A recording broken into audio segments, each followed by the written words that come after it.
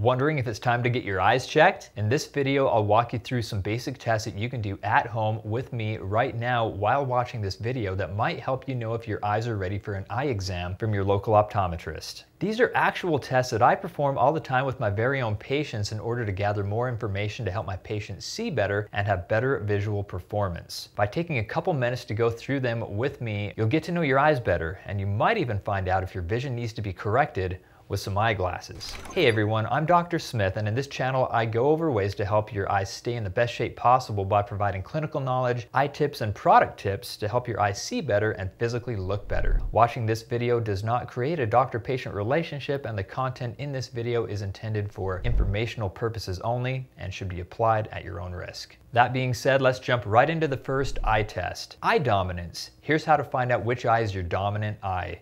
Start by looking at an object far away from you, like a digital clock on the microwave or a light switch on the wall. Next, with your hands below eye level, make a triangle with your hands while leaving a small opening in the middle for you to look through. If you can, make the opening fairly small, but not so small to where you can't see through it. As you're looking at the faraway object and keeping your hands at arm's length away, raise your hand triangle up until you can see the faraway object in the small opening you made with your hands.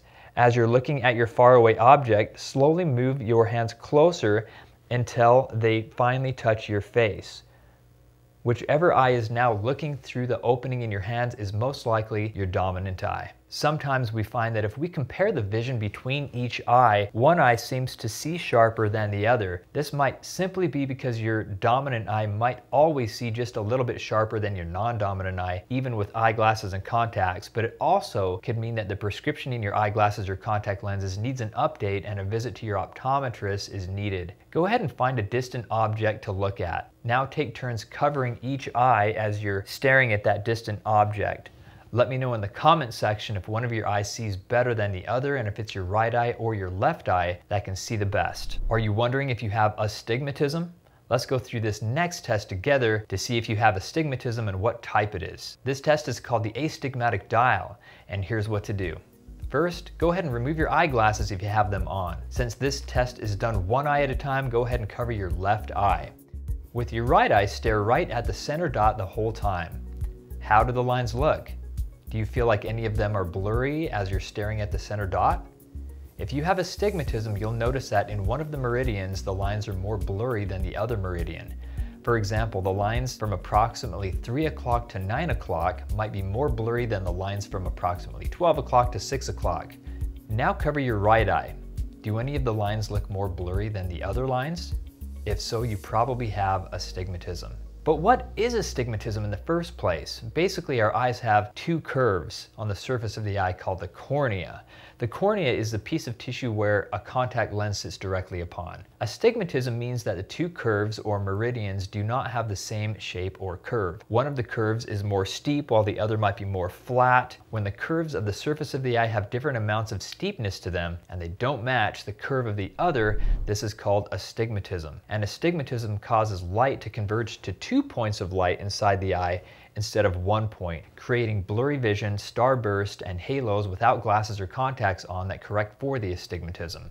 If the horizontal curve of the eye is flatter than the vertical curve of the eye, like an oval lying down on its side, the horizontal lines on the astigmatic dial appear more blurry, and this is called with the rule astigmatism. But if the vertical curve of the eye is flatter than the horizontal curve, like an oval standing up, then the vertical lines on the astigmatic dial will appear more blurry and this is called against the rule of astigmatism. Let me know in the comments section below if you were able to see blurry lines and what type of astigmatism you just found out that you have. Imagine walking into your eye appointment and telling your eye doctor, I think I have with the rule of astigmatism. Do you think some eyeglasses could help fix that? They'd be pretty impressed. By the way, if you decide to back the video up right now and try this again with your eyeglasses or contacts on, and you happen to see that either the horizontal lines are more blurry than the vertical lines or vice versa, then you might have a prescription change and may need a new eyeglasses or contact lens prescription from your local optometrist. Let's do a quick color vision test.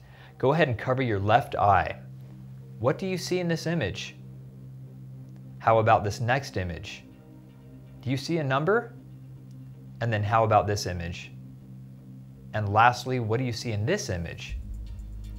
In the first image, you should have seen the number 8. In the second image, you should have seen the number 5. In this third image, you should see a number 29. And in the last image, you shouldn't see a number.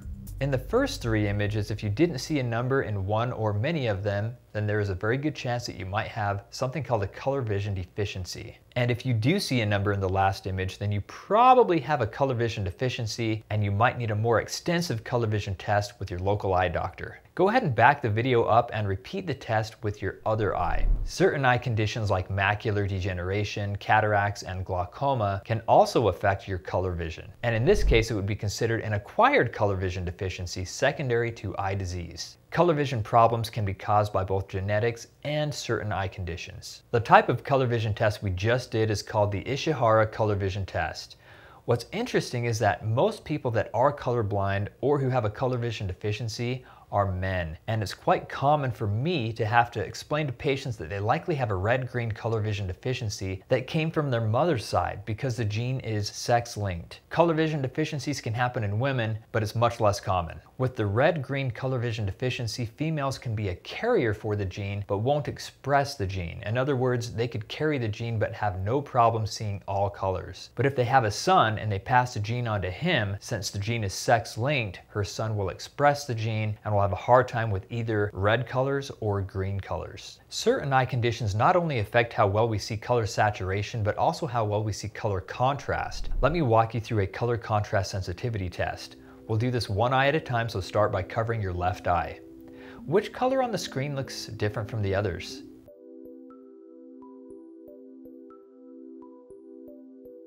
How about in this next image? Which color looks different than the others? Or do they all look the same? And here's the last one. Which one looks different from the others?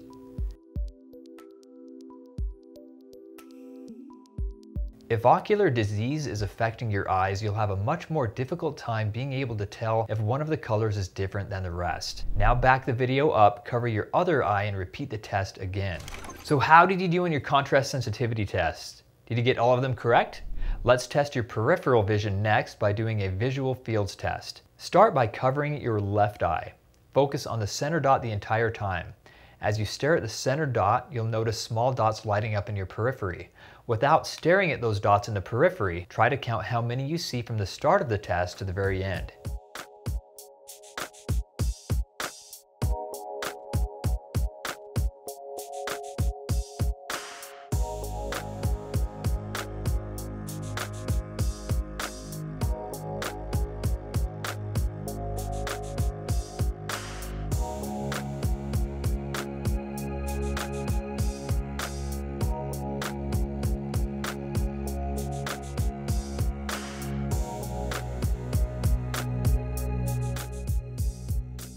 Did you count 12? Let's go ahead and back the video up now, cover your other eye and repeat the test again. So how did you do on your visual fields test? Some of the main reasons we perform visual fields tests on our patients are that we might be looking for glaucoma, which is a condition that affects our peripheral vision first and can eventually lead to total blindness, or if someone's on long-term drug therapy for certain autoimmune conditions like lupus and could be on a medication called Plaquenil or hydroxychloroquine that can sometimes cause problems with our macula and attack our central vision. Or let's say a person's upper eyelids are beginning to sag lower and affect their upper visual field. In this case, we'll do something called a Superior 64 or eyelid visual fields test. First with the eyelids taped up and next without any assistance with tape to see how much improvement someone gets when the eyelids eyelids are taped up. Next, let's do a test known as the cover test. This will be somewhat of an adjusted type of cover test that allows you, the viewer, to perform this test on yourself at home. Here's how you'll do it. First, locate a symbol or a point that is a little less than arm's length away. In the office, we'll test at about 16 inches or 40 centimeters. The symbol could be a small letter on your computer or on the cover of a book or something similar. Stare at that object with both eyes. While staring directly at the object, take turns covering each eye one at a time, alternating between the right and left eye as you continue to stare at the object. While alternating between each eye, if it looks like the object is stationary and not moving, then there's a good chance your eyes are aligned well. But if the object jumps back and forth, or jumps back and forth diagonally as you take turns covering each eye, then you most likely have an eye misalignment and your eyes are compensating for that throughout the day and a visit to your local optometrist might be needed to correct for this misalignment. I created a video recently about a certain type of lens that's used to correct for eye misalignments. Be sure to watch that video after this one if you either suffer from headaches or you just found out that you have an eye misalignment or both. Large eye misalignments are easy for others to see, but most eye misalignments are not visible to other people because our eyes are compensating for them in order to straighten the eyes out and avoid double vision. A common type of eye misalignment is called an exophoria. This means that when you close your eyes, they relax outward, meaning that your eyes have to travel a greater distance to converge when the eyes are open because they have to start from out here. The exophoria eye alignment is a common cause of headaches, eye strain, motion sickness in both children and adults, and even occasional intermittent double vision when the eyes are tired at the end of the day. The next test that we'll perform is called the Amsler grid. This test helps us know if our macula, or the part of the back of the eye that controls our central vision, might be affected by certain eye diseases that attack the central vision, like macular degeneration, solar retinopathy, central serous retinopathy, and so forth. Since this test is performed one eye at a time, go ahead and start by covering your left eye. Look at the dot in the center of the horizontal and vertical lines. While staring at the central dot, can you tell if the lines around the dot are all straight? Can you see each of the four corners of the grid in your periphery without looking directly at the corners? Are any lines wavy or missing? If so, you may have an eye condition that's affecting your ability to see high definition and detail in your central vision and a visit to your optometrist is necessary. Smash the like button if you're getting any value out of this video and let us know how you did on all these tests in the comment section below. Thanks for watching my channel on YouTube and subscribe for more helpful content.